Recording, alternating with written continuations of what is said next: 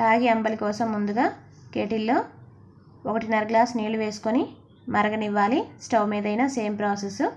తర్వాత ఒక గిన్నెలో నాలుగు స్పూన్లు రాగి పిండి తీసుకొని వాటర్ వేసుకొని ఉండలు లేకుండా కలిపి పక్కన పెట్టుకోవాలి.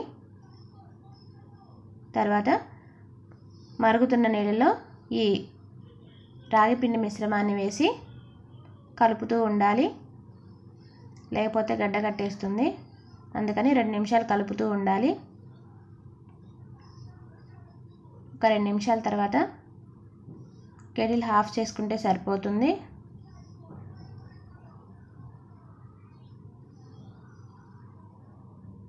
మీకు ఇంకా చిక్కగా కావాలి అనుకుంటే ఇంకొక నిమిషం రెండు నిమిషాలు ఉంచుకోవచ్చు. ఇప్పుడు దీన్ని ఒక ఐదు నిమిషాలు చల్లారనివ్వాలి. నేను ఒక పది నిమిషాల తర్వాత ఇప్పుడు రాగి అంబలి కోసం ఒక గ్లాస్లో ఒక రెండు స్పూన్లు పెరుగు వేసుకొని కొంచెం ఉప్పు కొంచెం వాటర్ వేసుకొని ఒకసారి బాగా కలిపేసుకొని దీనిలో రాగి జావ కలిపేస్తాను.